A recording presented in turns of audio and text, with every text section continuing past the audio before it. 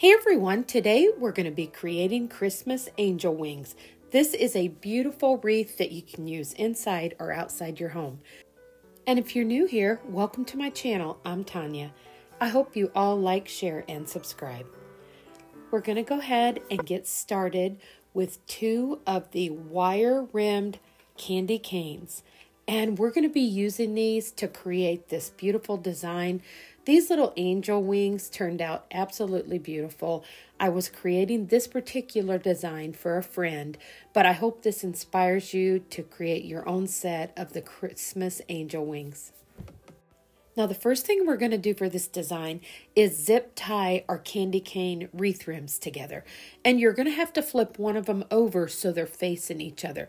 Now there will be kind of a hump on the one that you flipped over, but that's okay because we're going to be covering that up with plenty of the mesh ribbon. Now, I zip tied this really well. I added probably four or five of the zip ties. Just make sure it's secure is what you need to do. And then you'll flip it over. And I'm going to be using this Poly Pro mesh ribbon. And this one has a cotton feel to it. And the reason why I picked this one up is because it was really good for the base of this before we actually add that real thin mesh ribbon. Now, I just cut this probably about I don't know, maybe 10 inches and that way you can just roll it like I did there and then you're going to put the other mesh that I picked up at Dollar Tree. Now that first mesh I did get at Michael's and I think they have it at Hobby Lobby. But you can see what we're going to be doing. We're going to be cutting strips of that, kind of rolling it up. You want the points to be at each end and even though this is going to be covered up, I was just doing this so it would just kind of have the same flow. And I just went ahead and started there at the bottom, zip tying these on. And we're going to build this up underneath just to try to cover up the wire part of the candy canes.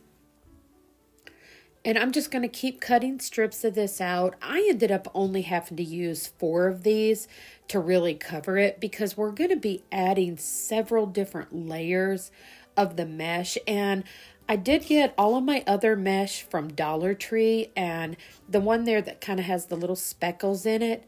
And then I used one that kind of had some pinstripes. And you can mix and match the mesh ribbons like I did with the stripes and the little polka dots on there. Because once you get this design put together, anything that you do, as long as you're using the mesh ribbon is just going to turn out beautiful, everyone. Now you can see how I'm kind of folding this down and I'm going to zip tie this one really well as far as to all the little ends. And that's just to form the base of this. And I did pick up my clear zip ties there at Dollar Tree. And you can just snip them off. Like I said, there's going to be so many layers that you're not going to be able to see the underneath part here. Now the next thing we're going to do is we're just going to take some more of this mesh ribbon and we're going to cut a few strips, roll it up like I was telling you, kind of just roll it kind of at an angle where you can get the little points. And then I'm going to start adding those to the bottom. And you just have to keep trying to build the shape underneath so you'll be able to follow this shape as you're adding the top layer. So I decide to put these two pieces right here, and that's just going to give me kind of that design of the wings and how the feathers would lay. And then I'm just going to take more of this one that's made with the cotton. And you could actually use um, some sheets of that uh, faux snow, like the sheets of um, even... Um, quilt batting, anything to cover up your candy canes would work on this. And you could even just wrap these candy canes in some of the cotton and that way it would cover them up and then put your mesh ribbon on top. So you've got lots of options. I just like doing it this way because that would give me the base of some of the little pieces kind of feathering out on each side and down the center. Now we're going to start taking some of that mesh ribbon, from Dollar Tree. And you can see I'm just going to use a little string on these and I'm just going to tie those up and that will keep these together a lot better. And I decided to do a whole bunch at a time. So I just cut out the length.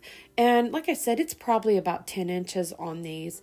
And then you just want to cut points at each end and then you're going to be able to tie all these up. I just used some rope twine that I picked up at Dollar Tree and that worked really well. And I just trimmed it down where it just kind of blended in with the mesh ribbon.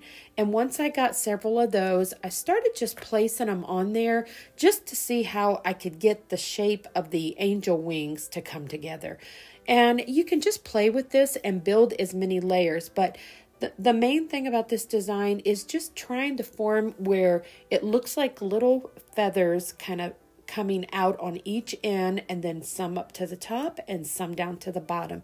And everyone, once you get this all put together, it just looks so pretty and you can put any decorations of your choice on here and you're going to have a really beautiful Christmas angel wing design. And this would look wonderful on your front door. You could put this on a fireplace, and really, you could display this anywhere in your home. And what a sweet and wonderful little design to have up for the Christmas holidays. Now, you can see once I got all those glued onto the top, now we're going to start gluing some of these like I said, you got to feather them out, and you want to do that on both sides. And you can see already how this is coming together, and it looks like it's starting to shape what angel wings would actually look like. And you want to just raise up each little piece of the mesh that you glued down before and then just pop one underneath. And then you go back and maybe fill in a few little places uh, on the top if you need to, if it's still showing through. But that's the thing about this design, everyone. You can just keep adding as much of these little mesh pieces to just make this design look any way you want. I was showing you there how I was kind of bending the candy canes in because you can even bend the bottom part of your wings in any shape that you want them to be. Now I just kept on gluing these in. I think now I'm actually using the ones that has the uh, just looks like little netting on here. And then I had some of the striped. And like I said, it really looked pretty when I did blend all of the different mesh ribbons in there. I think that added a lot of texture to this design and just made it really pretty and full. But everyone, this is the only one that I have today. I have been really super busy this week, so we'll be back on track next week with our Wednesday and Saturday video, and I'll probably have an extra video pop in there for you also. But like I said, I've been busy this week, and this is the one that I decided to design because I was doing it for a friend of mine. And we're actually going to be doing a different technique for the bow that is going to be on this particular design. And I've been wanting to share with you some of these bow ideas. So I hope you stick around and uh, so you can see how I create this really beautiful bow that's going to go in the center. Now I got this in the wedding section at Hobby Lobby and this is just some ribbon that has some tiny little pearls in it and it's tied together in little loops. And I wanted to make some little streamers going down the center here. And so I just cut some of that and lifted it up and hot glued that.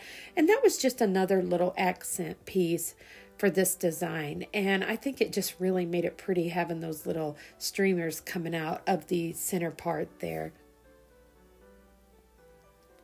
Now I'm just going to take some of these pine cones and greenery that I had in my craft stash. I think I might have picked these up at Hobby Lobby last year when they were marked down. And I just decided to do this really simple. I'm just going to take some of the pine cones and the greenery and glue it on each side of this design because on this particular design, I'm going to be adding this really pretty blue bow right to the center. And I had a few sprigs of the pine branches and I decided just to pop those on and have them flaring out.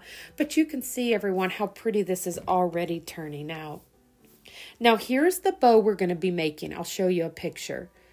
And this is really simple, especially if you are not someone who loves to make bows. I hope this gives you an idea on how to create these because you're basically just going to be cutting strips of ribbon and gluing them onto this little bow tie piece of cardboard. Now, after you get your cardboard cut into the size that you need it, and I like to cut it in this little bow tie shape because it just kind of helps me direct the ribbon in the direction I need it to go. I'm going to be using this blue ribbon and it's actually a little bit too wide. So I'm going to go ahead and trim this down. Now, if you're using that, it's kind of like a velvet feel to this ribbon. This one is really easy to trim down and make any size that you want it because it doesn't fray on the edges. Now, once I get those two strips cut, I'm going to measure off another set of four and you're going to have two, four, six loops that you're going to need for the larger part of this bow. And I'm also going to have to cut some short ones. And you can see here, I'm just moving the ribbon over because I want that to be a little bit shorter loop. And that's what's going to make this bow kind of look like the picture that I showed you in the beginning. So I hope I'm explaining that okay. You, you can tell more probably by just watching me, everyone, how I get this created. But basically, these bows are so simple because all you're doing is cutting strips and you're going to be hot gluing them onto the cardboard and you're going to be able to form this bow and you can create these bows in any size or any shape that you want for any design that you're creating. And you can see I'm just going to go ahead and trim this one down. And if you don't get these perfect, it's okay. Just as long as you get them close to the same size, it's still going to make a beautiful bow. Now you can see I'm gluing the loops together. And I'm going to glue several of my loops together and get those situated. And you do want to let them dry for a few minutes before you start gluing these on to your little bow tie piece of cardboard. But everyone, I hope you've enjoyed this design today. This was a really fun one to create and I think it's turned out beautiful and you could do this in any color for your home decor and it would make a wonderful design for Christmas. Now our first two loops, we're just going to be placing them at the top of that little bow tie and they're just going to come straight out from the point and that's going to be your first two loops. And now we're going to take these and put them kind of in the center and they're going to be coming straight out. And everyone, once you see how this is coming together, I know you're going to want to try one of these because it is the quickest and simplest way to create any bow for any size that you need for your design. And you could see I went ahead and glued those other ones going in the opposite direction and now we're just going to take some of the smaller ones and we're going to place those right over top to hide our raw edges on this part of the bow. And the fun part about this is when you create the center because all you're going to be doing is creating a little loop that is going to go right in the center. And the minute I glue this on, you can see how quick it was to create this bow. So I hope you enjoy this and I hope that this gives you some inspiration to try some of these bows because I know you're going to enjoy the simplicity of how you can create these in a solid color ribbon or you could use multiple colors of ribbon and add as many loops as you want. Now I decide that I'm going to add some of the streamers to the bottom and I just wanted to make some really short, kind of simple ones because I didn't want to take too much away from the angel wreath itself. And I'm just going to glue those right on with some more hot glue. And you can see how beautiful this has turned out already. Now I decided I wanted to add two more loops up to the top. So all I needed to do was cut those strips of ribbon, hot glue them down on the ends, and then I'm going to be gluing them together right there at the corners and kind of place them at an angle. And that way, when I lift it up, you can see it just adds two more beautiful loops to the top of this bow. Now, once I get this glued down on, we'll just place the bow right on top with a little bit of hot glue. And this bow will be completed. And you can see how simple it was to create this design.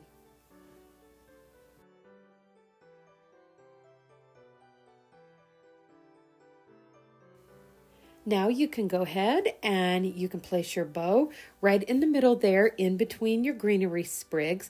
And I just maneuvered everything around until I got it where I wanted it. And then I'm just going to take some more of that hot glue and I'm just going to glue everything down really well. And that will pretty much finish out this wreath. You can add any kind of extra little embellishments that you want. But like I said, I kept this one very simple and I'll have a video right here of it hanging up in my living room on an accent wall and everyone it turned out so beautiful and i do hope that you enjoyed this one today. Well everyone if you did enjoy our christmas angel wings and you think you're going to give this one a try don't forget to give this video a thumbs up and if you haven't already subscribed to my channel i hope you consider doing so.